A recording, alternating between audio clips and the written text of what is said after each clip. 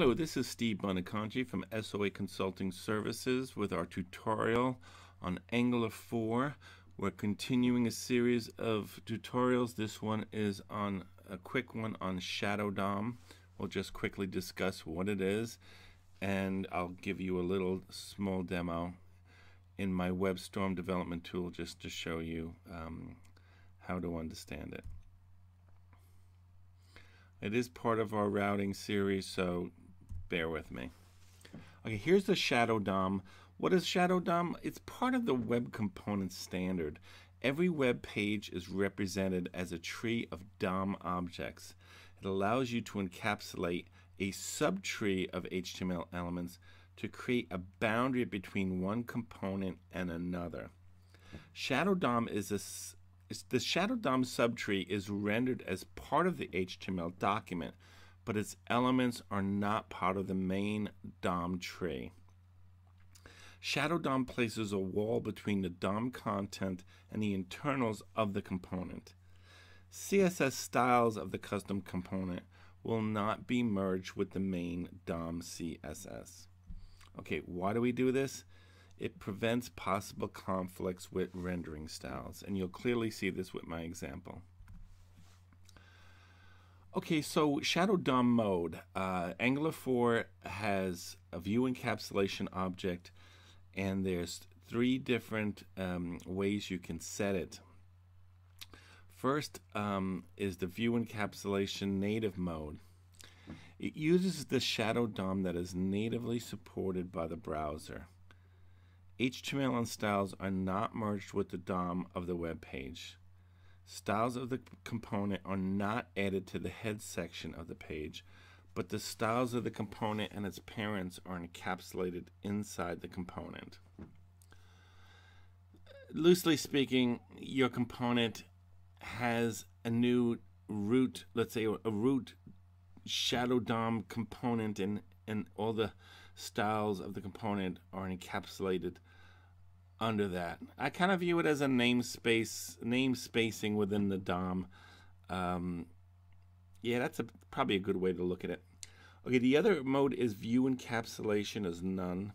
Does not use shadow DOM encapsulation. All the markup and styles will be integrated into the global web page DOM. The colon host selector will not work in this mode. There is no shadow DOM. Then is view encapsulated emulated, which is the default. This emulates the encapsulation of the shadow DOM. This instructs Angular to generate unique attributes for the styles of the component and will not merge with the styles of the web pages DOM. Basically, you get the shadow DOM feel, but it not necessarily a true shadow DOM. But once again, it's like a name spacing issue. It makes sure that your component styles don't conflict with the web pages styles. Okay, so let's take a look at some code. Here's a little project I created called Shadow DOM. It's a seed project, an Angular CLI seed project.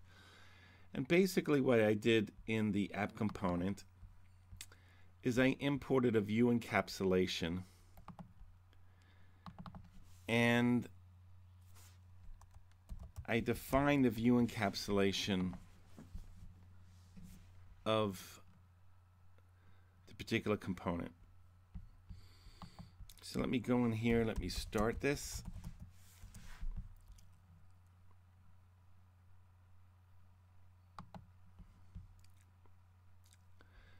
Okay, now notice I could set this as native, I could set it to none, and I could set it to emulated. Emulated is the default, and we'll take a look just to see what happens here. Okay, notice I have the seed component, it says AppWorks. Let me look at the styles. I have a light coral color for H1.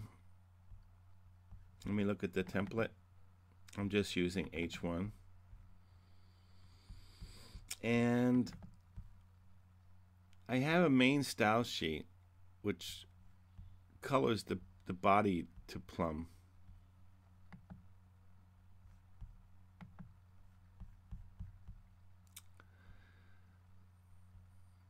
So, um, loosely speaking, we have a style here which is rendering the body tag of the web page and I have a component style which renders h1 which defines the styles of h1 and h1 is part of the app component. The app component has an app root selector so in my index.html, we have a body tag which is styled by this style.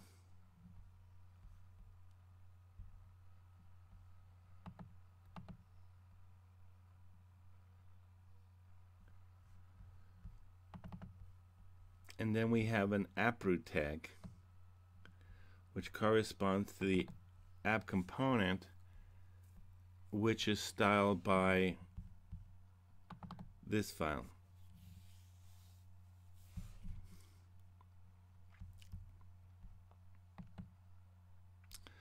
So let's see what happens here.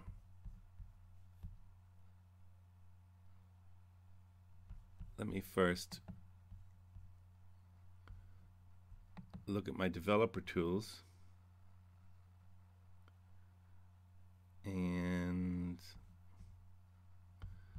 Let me render this.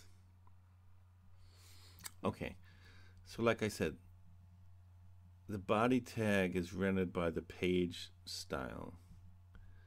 The H1 is rendered by the by the um, Angular 4 application root component. Let me inspect this element and see what's going on here.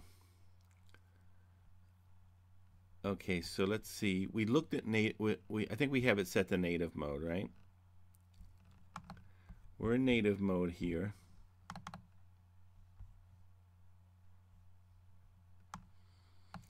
View encapsulation is um, native mode. It turns out I'm, I'm, I'm using Google right now. So Go Google seems to know what it's doing because, of course, the Google guys created Angular 4. Um, you might not see this all all correctly in the in the browser. In other words, the the native mode of some browsers might not be supporting the Shadow DOM properly, but um, but let's just ignore that for the moment. Okay, so in our app root component, it looks like it took the styles of my component and put it inside a hash shadow hyphen root DOM element. And so it's pretty much separated from what's in the header file. So notice the body tag styles are in the head.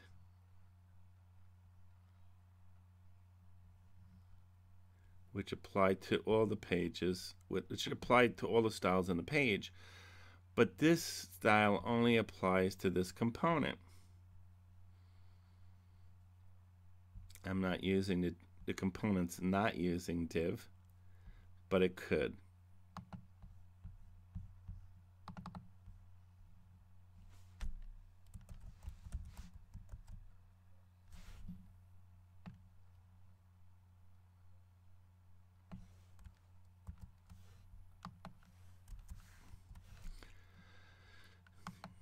Try to do this just to see what happens.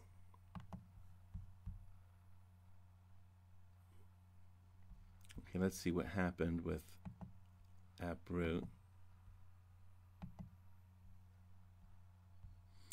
Now, I do have a div tag. I do have uh, an h1 tag and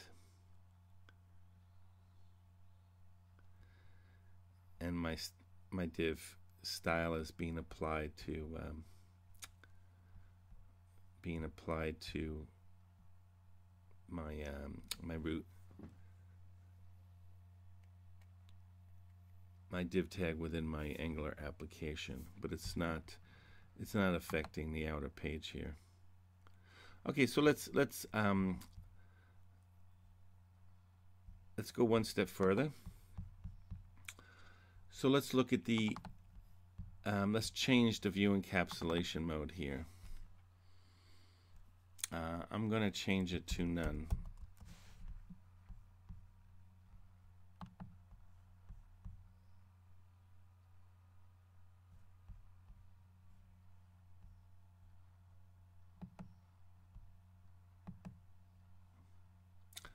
Okay, now here, what happened was the styles were now moved up to the head section and they apply to the whole web page. So my component is is being displayed within the web page and so it, it uses those styles but now those styles can also be used by the web page. And so now I have to worry about well, what happens if I if I define a different style and a different style sheet included somewhere else in the header, or uh, uh, you know whether it comes before this or after this, whatever. There's going to be conflicts.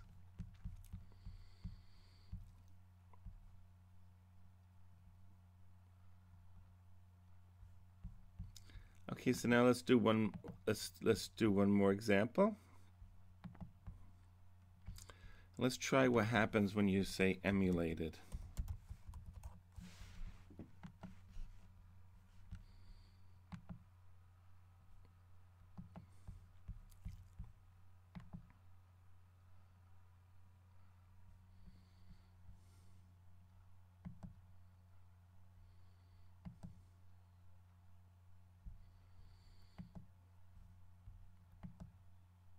Okay. It, it seems like I've got to restart the server. So let me just do this. And I don't want to waste my time refreshing cache because it just might not work.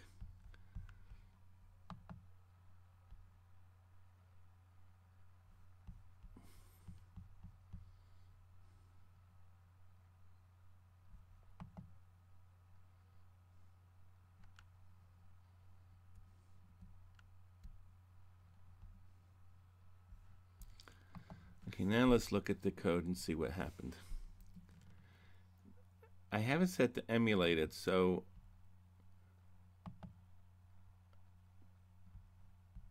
I um, I notice here that my that I have these little um, attributes here called ng content hyphen c0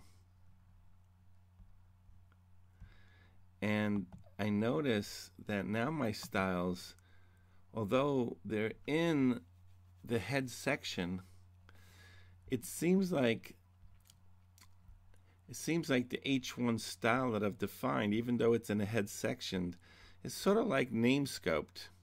It's sort of saying it really applies to the ng content hyphen C0. So it's going to apply it's going to apply to my elements in AppRoot and it shouldn't apply to any h1 tags in my web page. So um, so I guess we should think about um, you know what happens in the IE browser and all the other browsers. Uh, there will be from what I remember, IE did behave differently and did do things a little bit differently. I, am using Google because I want to make sure that um, that you know in native mode we get what we really should be seeing. So that that's that's good news. Okay, and that's it for this particular um, uh, d- demo. I, I don't.